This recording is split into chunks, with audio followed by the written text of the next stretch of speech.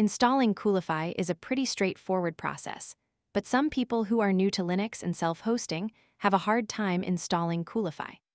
I'll be using a virtual machine on my Mac Mini that runs Alpine Linux, but the installation process is exactly the same for real Linux servers. Quick warning though, Coolify only works on Linux, which means you cannot install it on Windows or Mac. You can technically install it using Docker Desktop, but it is not recommended for production. The first thing you need to understand is the minimum system requirements. If you check the Coolify documentation, it says you need at least a 2-core CPU, 2 GB RAM, and more than 30 GB of disk space.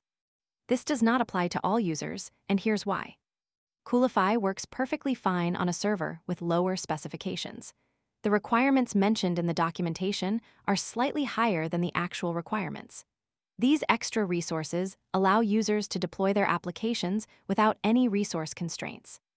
I run Coolify on a VPS that has 4 GB RAM, a 2-core CPU, and 40 GB of disk space, which runs Coolify and 13 different applications.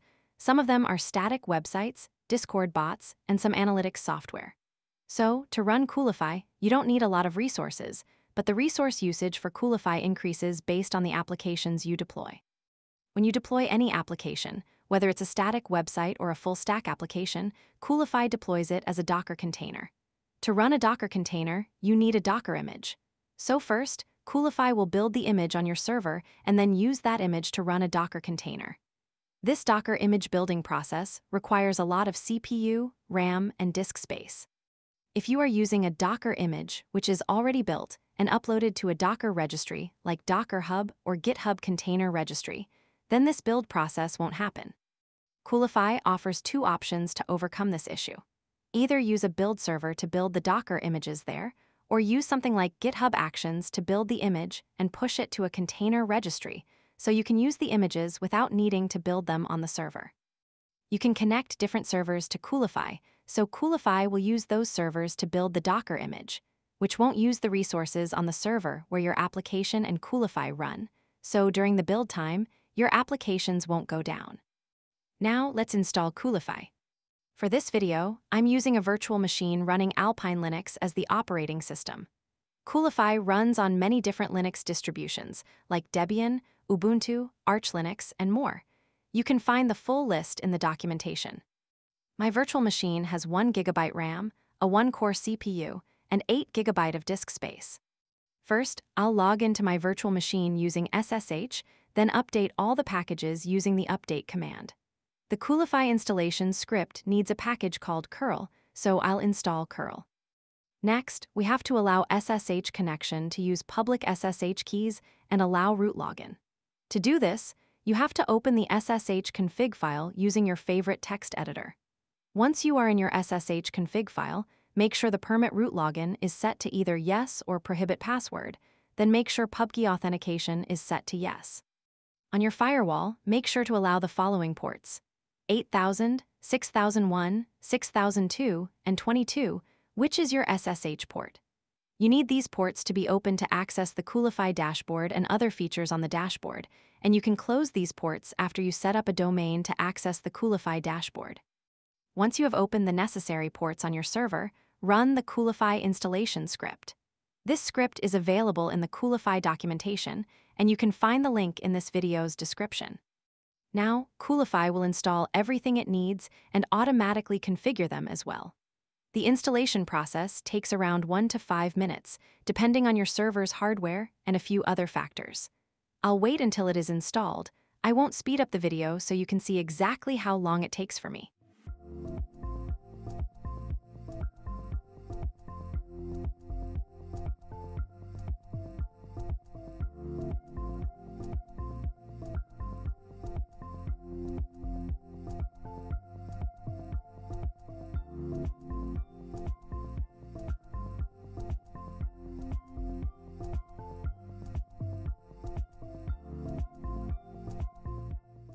All right, the installation is now completed.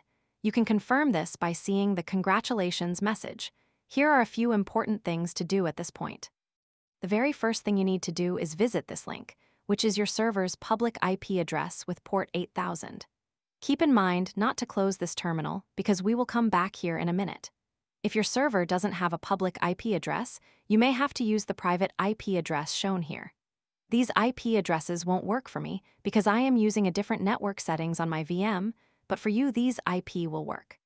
The main reason you need to visit this link is because it contains the registration page, which allows anyone to create the first admin account on Coolify. There was an incident where someone with malicious intent found the registration page, created the first admin account, and took full root access to the server. There is a way to create the admin account directly from the install command. For this, you have to specify the username, password, and email in the install script as shown on this page. I will link this page in the description of this video. Once you have created the admin account, you will be on the Coolify dashboard. Now go back to the terminal, copy the provided command, and run it. This will display important environment values. You should save this information somewhere safe, like a password manager, because it contains the password and other details for the Coolify database and other important things. If you ever need to restore the database or access anything in the future, you will need this data. That's how you install Coolify. I'm going to end this video right here, and I'll make more Coolify tutorials like this. So, leave a comment below this video on which topic you want me to cover next.